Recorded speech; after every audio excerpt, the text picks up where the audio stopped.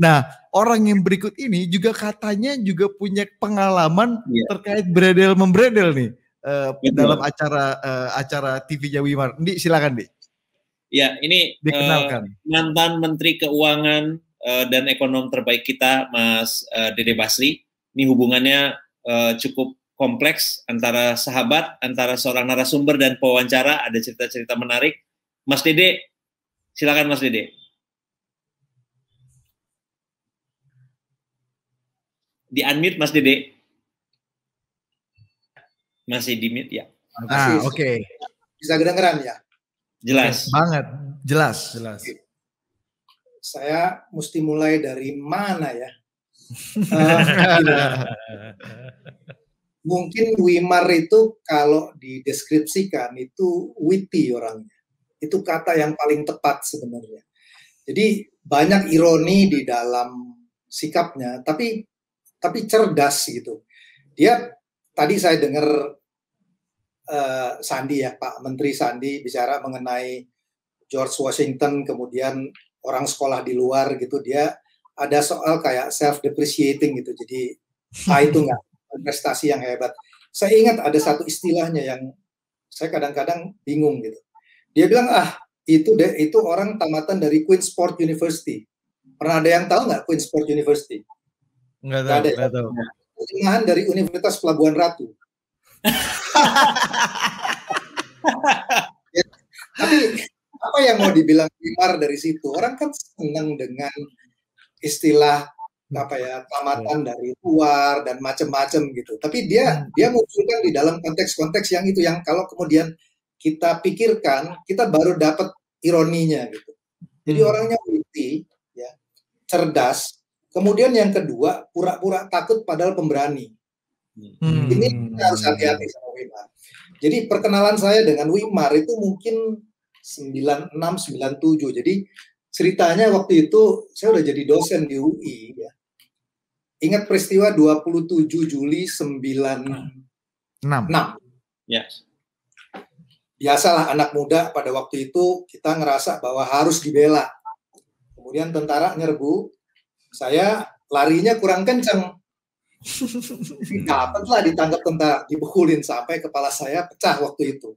Nah, hmm. mungkin buat Wimar itu cerita itu agak aneh. Ada seorang dosen UI yang sampai kepalanya harus dijahit gara-gara ikut di dalam demo pada waktu itu. Kemudian berapa waktu dia kontak saya. Saya nggak nggak nggak nggak kenal dengan Wimar secara pribadi. Dia bilang, eh uh, coba ngomong di acara saya. Waktu itu namanya kalau nggak salah perspektif ya perspektif hmm. Dan dimuat di koran dan kemudian juga ada kasetnya tuh. Jadi dibikin hmm. kayak ada ada diktat ya, diktat. Jadi ada transkrip dari diskusinya, kemudian dia kasih kaset, kemudian itu dimuat di koran kalau nggak salah, media Indonesia atau apa ya? Saya lupa pada waktu itu. Jadi eh, kita bicara mengenai situasi ekonomi dan cara Wimar mewawancara itu selalu persis tadi yang dibilang sama Budi ya. Dia seolah-olah nggak nggak tahu, dia nggak paham, tapi dia bawa kita untuk menyampaikan apa yang ada dalam pikiran dia gitu. Jadi itu supaya keluar dari mulut kita gitu. Ya, yeah. misalnya pada waktu itu bagaimana kan kita bicara mengenai uh, kroni ya, ya dia pancing saya sampai keluar tuh istilah ada perbedaan antara privatisasi dengan putranisasi. Nah, dia seneng tuh. Kalau yang kayak kayak gitu tuh muncul dia seneng gitu.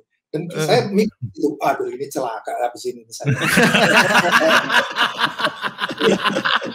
Dan Wimar gak, gak boleh terlalu kelihatan pintar ya eh, Bang Dede ya sampai akhirnya Dede Basri keluar kalimat-kalimat itu ya. soundbite gitu. Dia bawa kita sampai ke sana, kemudian dia keluar itu, terus kemudian itu yang dia jadi jadi tuh saya mikir ini bahaya ini benar-benar. Tapi disampaikan dengan cara yang smart, terus uh, selalu caranya ya biasa aja, ya nggak apa-apa gitu. Orang yang selalu optimis itu yang saya selalu ingat ya. Sehingga di beberapa acara di dalam perspektif Wimar, saya berapa kali tuh untuk apa namanya bicara di situ pernah ada satu tulisan di Kompas asal usul dia quote tuh uh, wawancara dari perspektif dengan saya itu bikin saya panas dingin juga itu karena kalau di perspektif hmm. kan nggak semua orang baca tapi kalau muncul di Kompas kan uh, bahaya juga kita gitu. Tapi makanya saya bilang orangnya pura-pura penakut tapi sangat berani sebenarnya. Nah, saya ingat ya 19 98 kalau nggak salah atau 99 saya lupa persis tahunnya. Dia punya acara saya nggak usah sebut stasiun TV-nya ya. Kalau nggak hmm. salah sayang pandang. Saya lupa di stasiun TV mana waktu itu ya. Indosiar, Bang Dede. Indosiar ya. Indosiar. Jadi kita membahas mengenai reformasi. Saya ingat waktu itu hostnya dua. Itu adalah almarhum Dr. Syahrir, hmm. kemudian uh, Wimar. Ya, Wimar bilang sama saya, Dek, uh, Anda ikut ngomong di TV ya sama saya. Gitu. Kita bahas mengenai reformasi. Wah, itu kan kehormatan besar. Terus terang tuh pada waktu itu ya, eh, TV kan baru ya, show nggak kayak sekarang itu saban sebentar tuh ada apa ya undangan show atau apa. Dulu untuk ada acara TV show tuh sangat terbatas. Jadi saya tuh udah benar-benar berbunga-bunga. Wah, undangan acara Wimar ini luar biasa. Saya udah bilang sama keluarga saya tuh semua nonton ya ini selayang pandang penting sekali nih. Gitu. Mulailah. gitu, ya. Wimar dan Ciil ya waktu itu ya. Wimar dan Ciil. Ya. Uh, uh, satu lagi ini, satu lagi uh, dari si saya lupa ekonom ekonomi politik. Aduh saya lupa. Umar Juoro. Siapa? Umar, Umar Juoro. Ya, bukan bukan Umar. Uh, jadi kita bicara waktu itu presidennya Habibie, berarti 99 tuh. Hmm. 99. Dan posisi Wimar kan jelas soal Habibie pada waktu itu ya. Betul. Jadi dari awal selayang pandang dibuka itu udah sangat spesifik dan sangat menjurus gitu. targetnya sudah jelas targetnya ya Bang Dede. Jadi bahwa uh, reformasi yang sekarang itu nggak bisa dijalankan karena ini adalah kelanjutan hal seperti itulah tapi disampaikan dengan cara witty. Tambah lagi almarhum Ciil, ya itu udah kerjasamanya bukan main. Saya dalam posisi terdesak tuh pada waktu itu karena kan kalau saya nggak berani malu gitu ya, tapi kalau saya berani takut gitu ya. Jadi jadi kemudian kita bicaralah mengenai reformasi, apa kelemahannya, apa segala macam. Saya bicara tiba-tiba itu televisi kesalahan teknis katanya. Jadi ditutup hmm. itu pada dan itu bukan kalau di acara tadi saya dengar uh, Kang Maman ya, itu SCTV sampai habis. Ini enggak. Jadi di tengah-tengah itu acaranya berhenti. ya, Ari dan Budi dan Andi. Yang paling saya kecewa bukan apa? Ini kan hmm. baru sekali saya masuk TV, muncul belum full dari itu. Gara-gara WW kan. Saya bilang sama WW, aduh WW, ini kesempatan gue pertama gue nggak bisa selesai saya bilang sementara jadi, Wimar residivis bredel ya jadi udah terbiasa udah imun deh jadi uh, itu acaranya di, di, ditutup ya ditutup hmm. jadi ada alasan teknis katanya dan nggak dimunculkan jadi kita tahu setelah itu bahwa nggak uh, bisa dilanjutkan dan nggak ada penjelasan pada waktu itu nggak hmm. ada penjelasan dan acaranya selesai selayang pandang itu. Tapi saya hmm. juga bisa membayangkan memang sebetulnya untung juga ya. Karena kalau saya bayangkan ya kalau ada undang-undang kayak udah undang-undang ITE pada waktu itu itu pasti kita berempat sudah selesai semua tuh. Ya.